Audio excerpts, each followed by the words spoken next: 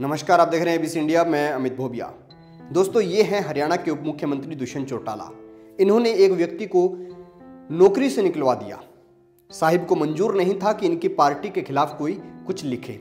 और एक व्यक्ति ने हँसते, हँसी के मूड में हँसते खिलखिलाते एक पोस्ट फेसबुक पर डाला और उसके बाद उसे अपनी नौकरी से हाथ धोना पड़ा। उस व्यक्ति का नाम है पन्नालाल, जो हिसार डिस्ट्रिक्ट की हाँसी तहसील के अंदर एक ड्राइवर की नौकरी करते हैं।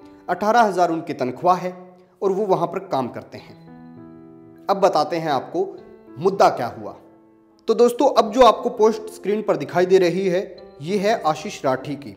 आशीष राठी जो हैं, वो दुष्यंत चौटाला के फ़ैन हैं और उन्होंने एक पोस्ट किया जब दुष्यंत चौटाला की रिपोर्ट नेगेटिव आई, उस दिन उन्होंने पोस्ट किया कि आपके दिल से निकली दुआ रंग लाई, भाई की रिपोर्ट कोरोना पॉजिटिव पाई, दुआ करने वाले हर शख्स का धन्यवाद। तो दोस्तों, यहाँ पर जो इन्होंने लिखा है ना पॉजिटिव पाई ये इन्होंने गलती से लिख दिया। और इसी का एक व्यक्ति ने स्क्रीनशॉट लिया। वो स्क्रीनशॉट लेने वाले थे पन्ना लाल। पन्ना लाल की फेसबुक पर एक आईडी बनी हुई है और उसका नाम है सोनू बोरा। सोनू बोरा नाम से पन्ना लाल की आईडी बनी हुई है और सोनू बोरा ने इसी का स्क्रीनशॉट शेयर करते हुए लिखा कि जेजेपी आईटी सेल का हाल दुष्यंत चौटाला की कोरोना की रिपोर्ट को पॉजिटिव बताकर लोगों का धन्यवाद कर रहे हैं, हंस हंस कर बोल रहे हैं। तो दोस्तों, सोनू बोरा, यानी इनका नाम ही पन्ना लाल है। तो पन्ना लाल ने पोस्ट शेयर की थी आशीष राठी की गलती बताते हुए कि आशीष राठी ने पॉजिटिव की जगह नेगेटिव की जगह पॉजिटिव लिख दिया।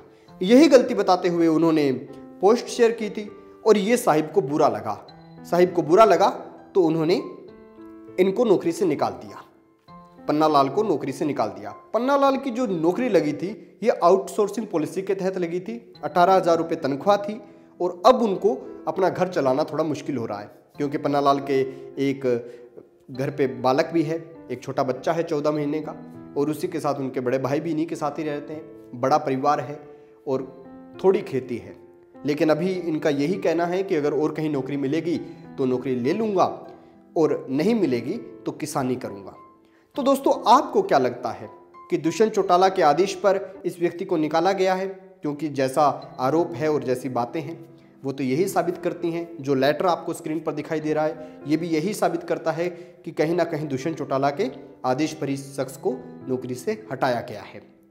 तो आप क्या मानते हैं कि क्या राजनीति जो है, वो इतनी क्रूर भी हो सकती है कि वो किसी की नौकरी खा जाए, किसी की रोटी खा जाए? रोजी रोटी खा जाए। और अगर ऐसा है तो आप दुष्यंत चौटाला को क्या संदेश देना चाहेंगे? कमेंट बॉक्स में ज़रूर बताएँ और देखते रहिए एबीसी इंडिया आपकी आवाज़, आपका विश्वास।